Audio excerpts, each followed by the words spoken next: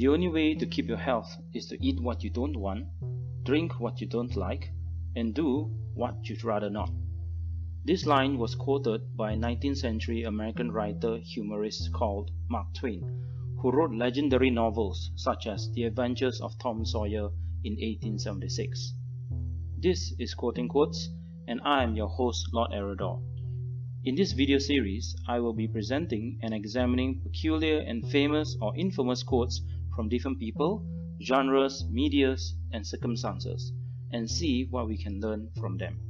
As the father of American literature, he is considered as one of the greatest humorists America has ever produced, and his works stand out in his time for much of his social commentaries and criticisms to the extent where some of his works have been subjected to censorship. The quote is a short extract from his 1897 non-fiction social commentary titled following the equator.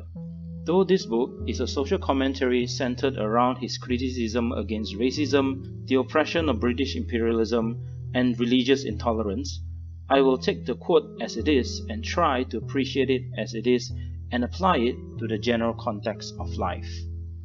Sweet and pleasurable things are not always good for a person. This is especially so when we drown ourselves in our own indulgence and thereby destroying ourselves.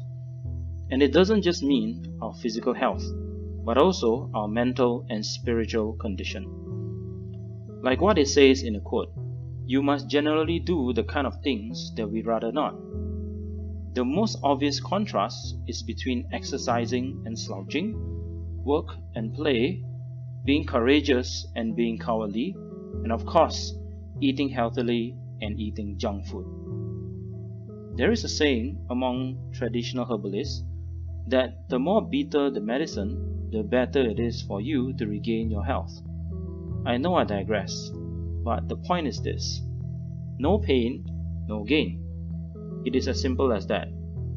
Ask any gym instructor, and he she will probably tell you that if you want to start losing that extra pound, you have got to put in the effort and sacrifice that which is most pleasurable to you, meaning sweet, sweet calories.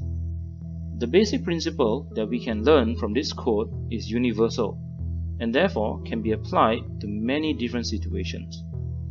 Want to lose the pounds? Exercise. Want to get the desired results which is good for your well-being? Work. Want to get the thing that you so desire? Have some courage to pursue it. Life is not a bed of roses. Sometimes you have to make your own bed and then throw some roses on it. But to do that, you've got to put in the effort that you'd rather not because it is so hard to do. Have the will to say no to that which is bad for you so that you can gain that which is truly good for you.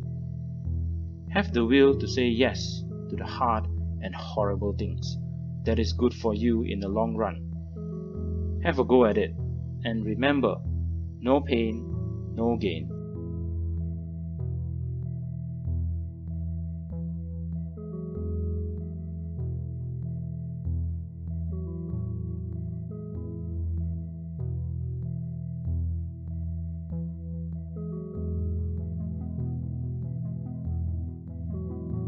I hope you did take something positive from this short video.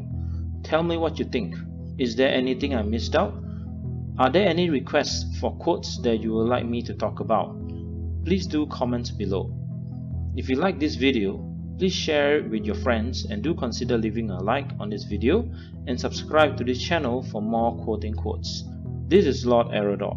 Be good and kind and positive to each other.